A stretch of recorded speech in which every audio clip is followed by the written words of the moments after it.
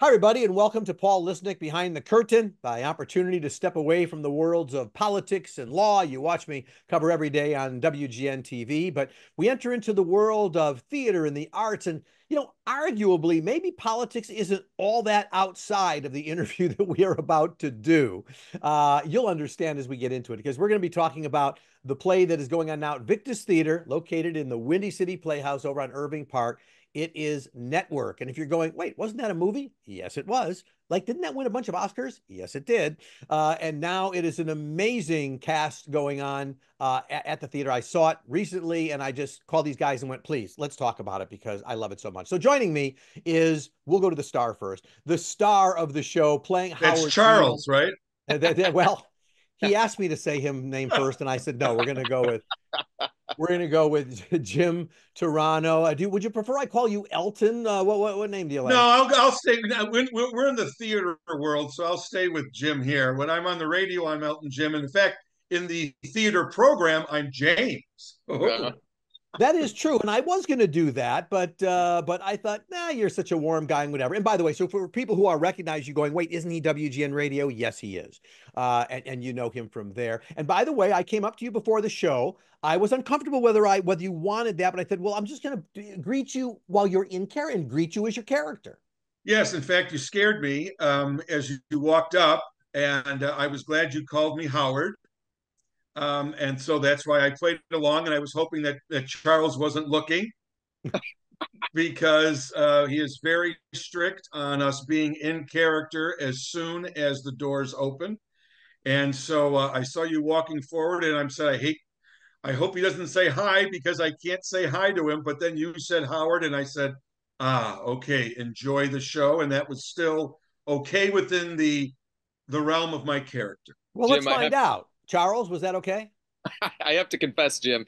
Paul actually came up to me beforehand and was like, "Is it okay if I talk to if I talk to Jim?" oh. do it. well, just so you know, I was I, I, was staying I was staying within character. I I I, I didn't say hi. This is Jim. I said this is Howard. So very right. good. Uh, so just so you know, you see, I do play by the rules. I did get permission ahead of time, uh, and also figured that would be the way to do it, and, and, it was appropriate. But also joining us now that he's talked uh, is Charles Askenaizer, who is the founding artistic director of the Invictus Theater. I'm going to just start with you, Charles, because when you and I and people can go back on the podcast, you and I chatted just just you and I about the history of the theater and uh, the mission and all of that, so people can check out that interview. It wasn't all that long ago, but I was so excited when I read that Network was a part of this season. Now you're known for doing Shakespearean things. Uh, maybe this isn't so far outside of that realm in many ways, but explain to the viewers, to the listeners, um, how does Network fit within the mission of Invictus? Oh my goodness. Well, so we're a heightened language based theater company and people ask what is heightened language and I say poetry and you know think of Shakespeare. That's a that's a great way of approaching it. And of course, network, Paddy Chayefsky, I mean, he's as close to Shakespeare as you can get, a modern modern day Shakespeare. I mean, Jim can probably expound more actually speaking the words nearly every night, but it is operatic and Shakespearean and I, he uses all the same rhetorical devices that Shakespeare does. I mean, it's incredible, incredible language. So um, of course we had to do it, and it's a relevant piece too. So did you? One more question for you, Charles. I'll go to Jim. Um, there's something more in the first act than the second act, but there's something Mametian about this, David Mamet. Mm-hmm. There's something about the delivery and the pacing of lines that struck me earlier in the show in the interaction as as almost a little homage to David Mamet. Am I am I off base on that?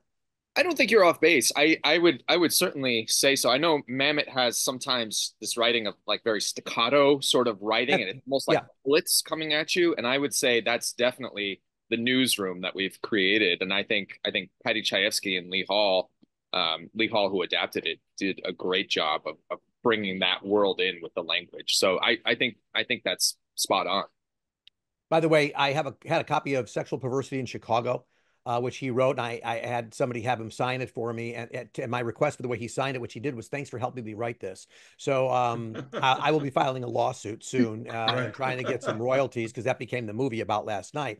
Right. So, Jim, um, for people who know you only from radio, they might be surprised to hear that actually performance dramatic performance, as in Who's Afraid of Virginia Woolf, also done by Invictus. And I'm just so sorry I did not see that production. Please do it again. Um, I'd love to remount that one. but so, but Jim, talk a little bit about uh, just this this mixture. There's the music end of you and the and the radio end of you, but there is this dramatic theater. I guess kind of they all go together, right? It's all theatrical. Art. Well, yeah, I think it's all it's all performance based. I mean, you know, uh, you know, you're on television, even though television is nothing more than a uh, a circus, a carnival, a full of acrobats. I, I was delivering He's in character, line, Charles.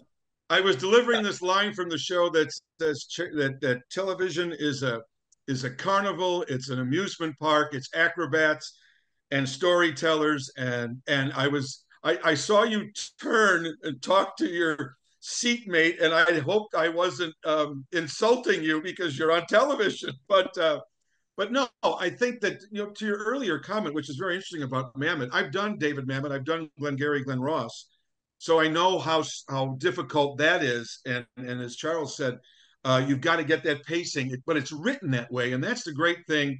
As, Charles said, uh, uh, this the, these monologues that I have are Shakespearean, and they're so well written. Uh, there's alliteration, and there's uh, there's the, the, the cadence and the pacing is written into the text and the copy that believe me to, to people say geez how do you how do you memorize these? They're so long. But it's almost a joy um, to learn them because and you and when i'm delivering them you don't want to miss a line. They flow they make sense to you mentally. Hopefully you're i'm conveying that to the audience but it's i i look forward i said to this to this to charles early on in the in the rehearsal process. This show is so much fun. I hope the audience has as much fun watching it as I am uh, having doing it, and as our cast is doing it. Um, but uh, to your uh, original question, yeah, I mean, um, you know, I, I, came to acting a little late in life. It was my goal. I actually had an internship uh, at Channel Two News here in Chicago. Um, part of my uh, my Howard Beale has a little Bill Kurtis in it. Uh, I was at Channel Two uh, when Bill Kurtis was there when when he uh, reunited with Walter Jacobson in the '80s, and that's when I was there, and I would observe him every day. And so there's a little at the beginning. There's a little Bill Kurtis there. There's a little um, Walter Cronkite there because of the time, um, in terms of the the news broadcast. Um, but so I came to to acting a little later. But at the end of the day, I think um, whether it's radio or television or news. Um, uh, you know, Don Henley had a great line uh, in "Dirty Laundry," which was a which was a diatribe against television news. His song "Dirty Laundry" said, "I could have been an actor, but I wound up here." So, uh, being a, an anchor person or an actor, I think it's still, as you know, you're performing in some extent. You're to the camera, to the audience. So um, it's a it's a different art. It's a different craft but it's the same basic foundation of of performing and and speaking well. And one reason why I love to work with Invictus Invictus is because of the plays that they choose. Uh, the three shows that I've done now with Charles in the theater, Virginia Woolf, um, Crucible, and now Network are all, you know, Arthur Miller and and Edward Albee and now um, Paddy Chayefsky from an actor standpoint to be able to deliver these words and and create these characters and use the language um, as somebody that I enjoy good language. Um, it's been a joy. Well, by the way, the new season, he's uh, Charles told me he's doing Fiddler on the Roof, and I'm playing Tevye, so don't even think about it, Jim. Uh, I'm just realizing you you look more like Tevye than me, so I'm already nervous about this. But so this is a question for both of you because I, I don't know if you have to be of a certain age or not. Uh, my partner's a bit younger, and and so he hadn't seen the, the movie Network and stuff, but I of course remember it so vividly. So Charles, the question for you part of this is when you have a movie that is so iconic, and when you have portrayals of Peter Finch, who won the Academy Award, passed away I think only three months before the awards were given. I, I he probably didn't know he won, and um, and Faye Dunaway uh, who won. So when you go into a show like this, are you thinking I have to be sure that my cast is not about to do their version of Peter Finch and and Faye Dunaway, and then my I'll come to you, Jim, to basically find out how do you deal with the fact that Peter Finch preceded you in this role and so iconically so. Charles, was it a worry for you? Not not really, actually. I um I mean when I when I when I cast my shows, I have full faith in my actors and believe in them and they show me something about the text and about the work that we're doing that surprises me and is new and engaging and I you know there is of course and I'd seen the movie a couple times before we did the play and of course that was the thing that inspired me to want to produce it. Um and so there is always the kind of echoes of it in the back of your mind but it's it's not about recreating it or replicating it. It's really about what are these actors bringing to it and i i think almost creating this this new piece and of course paying homage to what's come before. You can't you can't ignore it because it's in the cultural consciousness. I mean the line i'm mad as hell and i'm not going to take it anymore i say network to someone and anyone who's seen the movie has been like oh yeah i'm mad as hell and i'm not going to take it anymore so you can't you can't ignore that but you also you know these are different people that are putting this show on and they have their different experiences and that's what makes theater so beautiful and alive is that you know Jim's Howard Beale is totally different from Peter Finch's Howard Beale because Jim is a different human being and he's got different experiences and different perspectives and that's what makes it exciting and alive and dynamic. So um so I no I, I wasn't intimidated by it at all um and I uh, I I think it's a, an exciting challenge. So. And well, and Jim, we'll go to you on that. We'll see if Charles is correct, uh, because um, uh, he's speaking for you. You think, I'm, you think I'm? You think I'm going to disagree with my director? no, but I'm going to expand to, it I have to get cast in another play. Right, that's a good point, Fiddler. But here's here's the here's the problem because you just did Virginia Woolf, so it's not like Richard Burton is is is uh, anybody you want to be influenced by. So I will give it to you as a broader context. You are playing these iconic roles that have been played by iconic actors and legendary actors. So how do you address that, or is it just out the window and you say, "Sorry, it's Jim Turano doing no, this one"? No, you know uh, that's a, it's a good question. It's a it's a logical question. I, I think it's twofold. Um, I, I certainly came into this, uh, I have known the network film since I was a little kid. Literally, this is one of my favorite all-time movies. I, I have I know the Howard Beale character when when when uh, so well that that was my biggest fear was I know it so well that I didn't want to copy or mimic Peter Finch. However, I do think when you are playing an iconic character, and as you said, I played George in Virginia Woolf, and and now this, a very well known, and Richard Burton and Peter Finch, and don't forget Bryan Cranston did it on Broadway and won a Tony. Um, so uh, these are not small shoes. Uh, these are not small actors, but um, I do think that um, I wanted to make it my own, certainly. Um, but at the same time, I think when there's an iconic character and there's people that are coming to the show that that is that that is well known, uh, I, I feel some responsibility to the audience to not deliver the exact performance that they saw before. But I know that if I came to see Network, I don't want to see it done by Jimmy Stewart. I want to see it, I want to see shades or hints or colors of of of the original that I'm that I that I like because that's what's drawing me to see this play. That's what brought me there. So I don't throw that all out. I know a lot of actors don't like to see uh, a movie or a play that someone else has done, but the way I look at it is, uh, if it was Richard Burton or Peter Finch, I'm taking an acting class from Peter Finch. Why would I not take some of his advice? He didn't give it to me verbally, but he gave it to me visually or or you know audio audio wise but at the same time i have to say this um, uh, there is no doubt that that my howard beale and i and i thank you for the compliment that if if i made this role my own um, I, I have to and i'm not just saying this to blow uh, uh, you know air up his skirt here. Um, the the howard beale that you are seeing in this play is due to to Charles's uh, direction and discussions with me. Um, I think I would have been able to deliver a powerful uh, Howard Beale, but I think the thing that's coming through from most audience people that I talk to is that, that this Howard Beale is different because he is human, and because he feels there's there's a pain in him, there's a humanness in him. He's not just some deranged guy that Peter uh, Finch seemed to play more of that he was just off his rocker. And this came from a from a from a uh, from a conversation that that uh, that Charles and I had had before even rehearsal started. He's told me Howard Beale is in pain. And pain has to come through him. And that was one reason why when I was cast, um, I I came to the first rehearsal pretty much with the entire play memorized. Um, because I did not I hate people to, like that. What's that? I hate people like that. but no, but I did that because I didn't want to learn the character and learn the lines.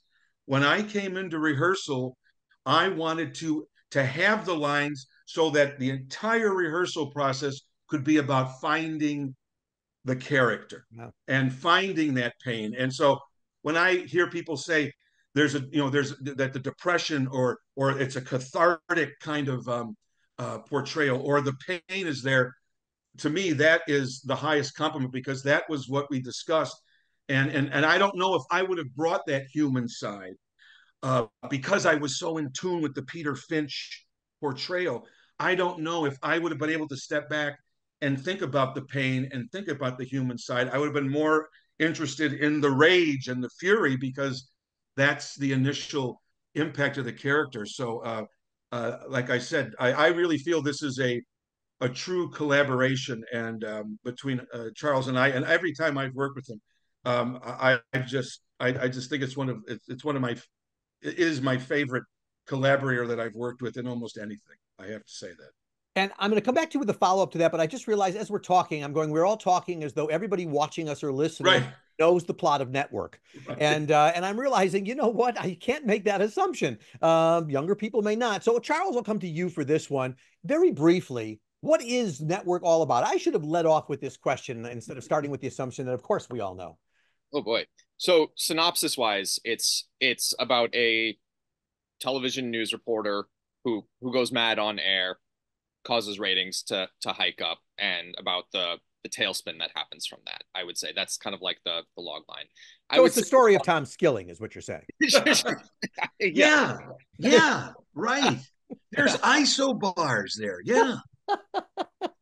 um, what I would say though that like the heart of the play, like the soul of the play, and I I have to sort of echo Paddy Chayefsky, and he said that it's about what does it mean to be human in a world that doesn't value humanity anymore? And we really took the approach of it's about dehumanization and how TV and the media and entertainment and news dehumanizes people. And I, I our final moment, I don't want to spoil it, but really we're in on that. And I hope it's as chilling for the audiences as I I find it to be. So oh well yeah, yeah it's why say. I walked out and said we need to talk. Um, Jim, my follow up to your last answer, however, is as you talked about the way Peter Finch portrayed it. And what struck me when you said that was, well, let's also, we it was a film for Peter Finch. It was a film. So he's on a sound stage. He's whatever he's doing. You have the pleasure of doing this in front of a live audience who is more present in the second act than the first act as far as your reality goes. But mm. is hmm. that part of what helps you develop the character in a certain way? There are people watching you. You're not on a film soundstage. Yeah, no, no, there's no question. In fact, the the famous uh, Mad as Hell scene uh, is very different in our show because in the film, uh, as as Charles said, you know, this is all about TV news. It takes place in a studio without an audience. It's a it's a just the the people that work there, and so basically Howard Beale is delivering all of his messages. Uh, at least before he gets the Howard Beale show, but when he's an anchorman, he's delivering it to the camera like every other anchorman does. And that mad as hell scene is delivered to the camera, not to an audience. Uh, what was interesting uh, in the once again, you cannot discount the importance of the rehearsal um, process because um, with an audience there, even though there was no one in the in the in the seats, being in the theater, seeing these seats, knowing there's going to be people in there, um, I I started to think, how can I bring them in to this? I don't just want to be preaching to them. It's very religious. I view I view my Mad as Hell scene um, as a as a part tent revival um, as a preacher. Um, I've seen Bruce Springsteen 63 times in concert. It's a Bruce Springsteen concert for me. When I'm coming into the audience, when I'm when I'm going up to them, when I'm when I'm when I'm uh, having contact with them, when I'm when I'm asking them to join me in my refrains, that's that's Bruce Springsteen right there. Um, but that is an aspect to me that makes our Howard Beale and that whole scene completely different than the film. It was much more claustrophobic in the movie, but here it is immersive. It is it is uh, you know the audience is participating, um, and yeah, I mean that me going into the audience, I asked uh, you know Charles early on, hey, could I go up? Can I go into the seats on this? Can can I come in the back? Can I go? You know, can I come in from the back and come down? You know, I'm I was so glad trying... I said yes too. I almost and I'm so glad I said yes. yeah, and so am I.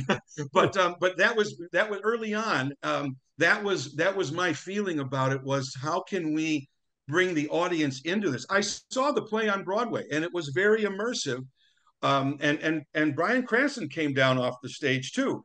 Um, but here it's so different because um, I'm I you know I, I, we're not in a big theater with a with the with the lobby in the back or it's a it's a different configuration and so uh, I'm able to play the crowd and and and, and I'm kind of a natural person like that anyway so it, it fits in so well in fact there's one scene when I talk to an audience member and that came about because once again Charles said to me when you deliver this monologue think of yourself as Mr. Rogers hmm. You know because it was because it, it, it's kind of a lengthy kind of almost like a lecture and and so I said to him, "Well, would you mind if I actually spoke this to because in my mind, how does Mr. Rogers start?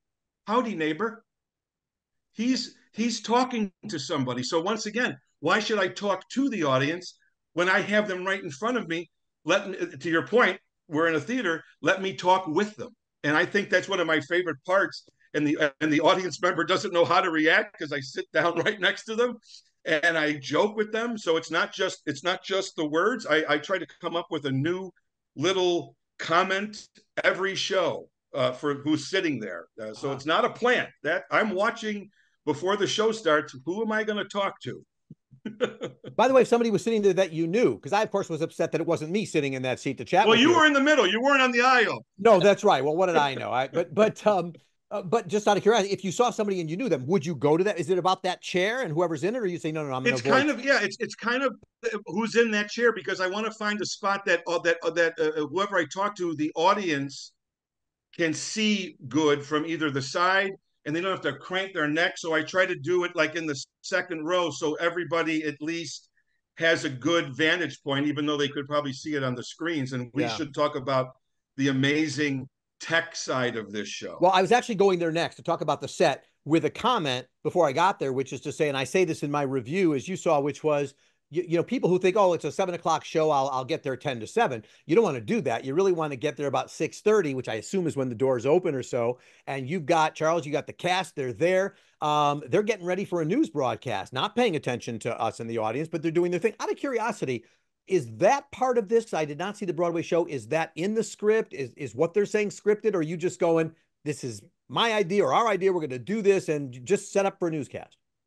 Yeah, more the more the latter. Yeah, we were we wanted to create this world that people were walking into because it's going to be so engaging with Howard Beale later on. And if the play is about connection, we want them to be connected and serve as a live studio audience later on and get them feeling like they are part of that that world. So yeah, that was that was something that we threw. I I don't I didn't see the Broadway show, so I don't know if they did something like that as well too. But I they had people they had people on the stage, but there wasn't a lot of interaction. You were watching them, but there wasn't a lot of is ours is much more kind of in people's faces. Yeah, and of course here, you're, of course, I'm judging things like, well, we don't really get a countdown from ten, but anyway, uh, walking through, it's realistic enough.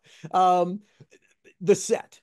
Uh, so Charles, I'll come to you in terms of this design. First of all, as Jim mentioned, the, the the video part of this is is stunning. I mean, some bucks were spent in making this thing happen. But let me, before we get to that, take a step back because the the great part about Windy City Playhouse is you have this black box space.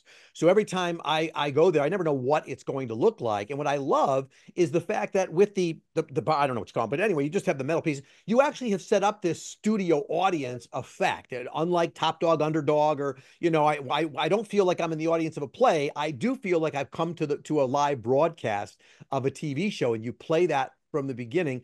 Talk a little bit about that set design, but also the video, because when I sat down, my partner said, "Oh, this takes place in the '80s," and I saw some of the clips. I went, "No, that's the '70s." yeah, yeah, yeah. Um, I mean, I, I I wish Kevin was on this call too. So Kevin Rolfs is our set designer, and he is brilliant. I mean, he's done every single set we've ever done. Um, he won a Jeff Award been for Who's Afraid of Virginia Woolf and been nominated for several since as well too. I mean, he's so so good at what he does.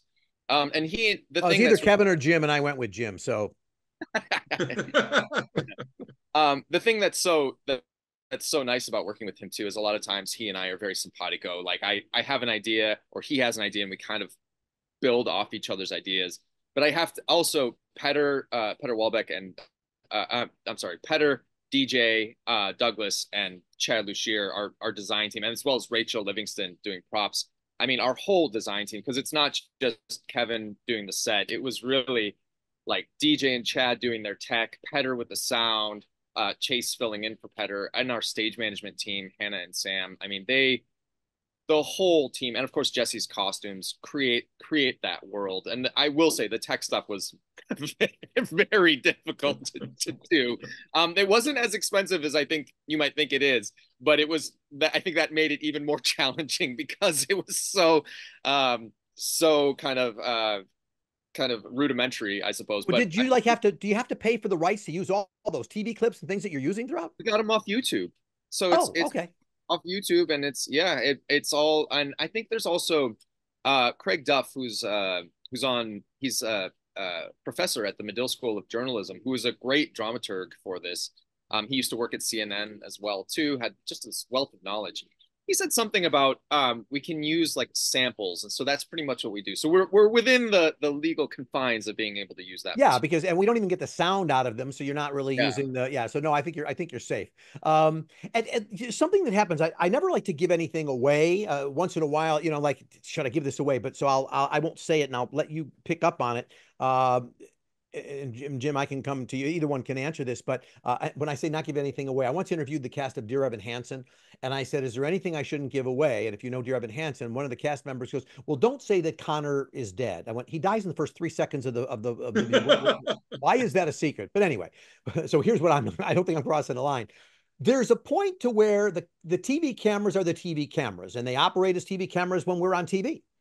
But there comes a point in the show where they take on a larger life I'm not going to go deeper than that because you might say no, no, don't don't talk about that, or you might say no, it's fine. So I'll, I'll come to you, Charles, first as the guardian of what should be secret.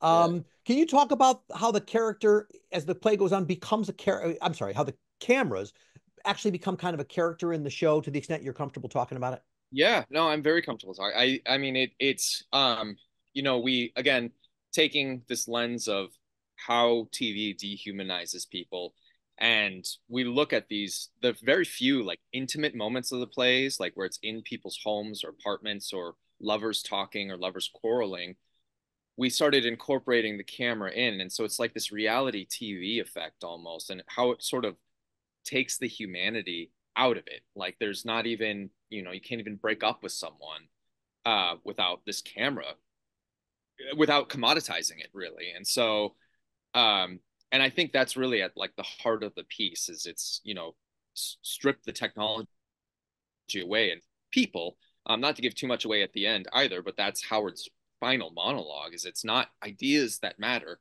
it's human beings. And he this is a man who desperately wants to connect with people because people have been stripped away. You know we we even now you know we're behind our computer screens we're not actually in a room with each other and you know breathing the same air talking and sweating and whatever together. Um, so was that your way of sort of bringing 2024 into the process? Yes, absolutely, absolutely. And it's, I mean, it's like any anybody with with a, a platform can say anything they want, and I guess this is how it kind of gets into the political world you know, if you have you have Facebook, Twitter, Instagram, you know, if you have enough followers and if you're charismatic enough, people will believe what you say even if it's not true. And you know and that that applies to news media as well too yes i can t- attest to that.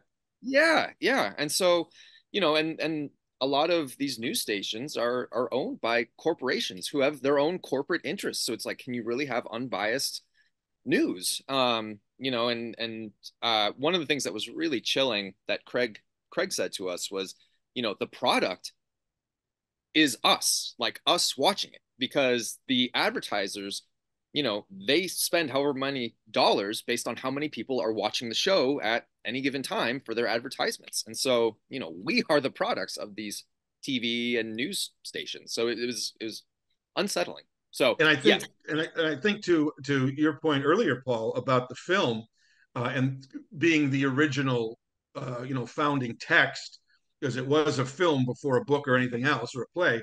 Um, you know, to Charles' point, the film is is really uh, you know when it, it was written, it was written in '75 and it was it was produced in '76. It was a very contemporary piece of work. It wasn't from 20 years ago, and it was speaking to the times, which I think is one reason why it it resonated so much in 1975.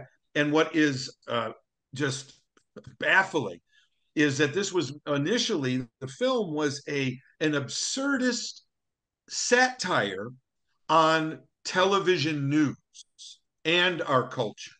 And and Paddy Chayefsky was coming up with, I think he was sitting around thinking of the craziest things he could think of that were so out of the realm of possibility to to talk about as possible realities to make his satire so crazy. And the irony is in 2024, and even when this play was first produced in 2017 in London, they were reality.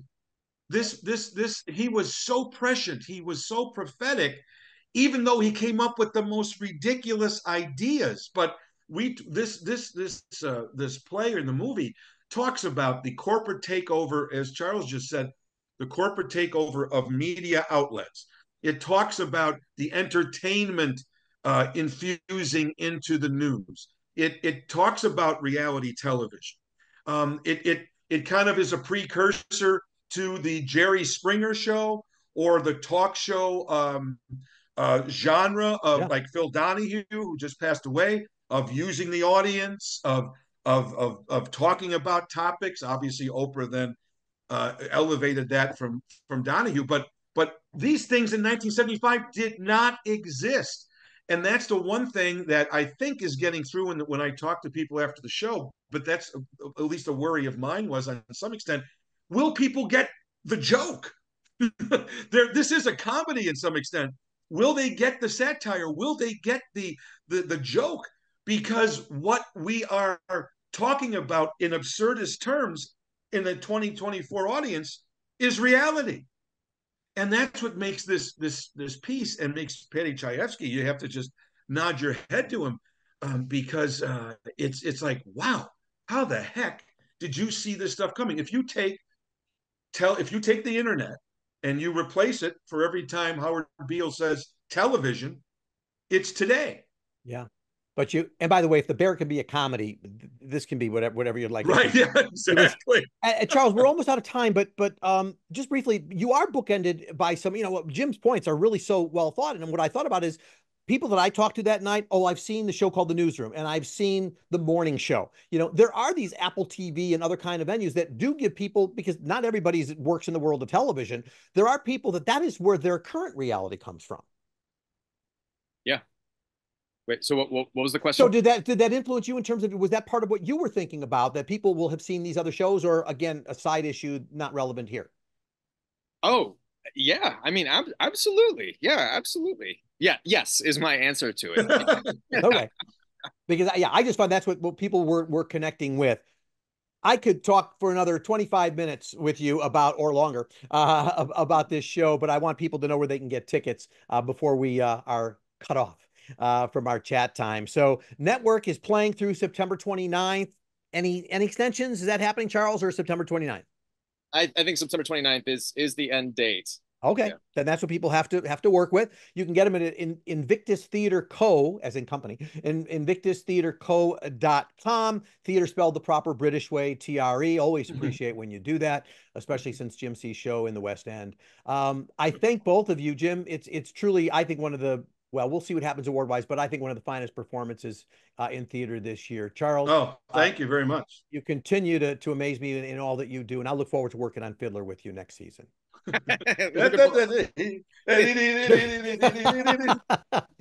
Gentlemen, thank you. Don't miss, thank don't you, miss network. It's phenomenal. Thank you guys.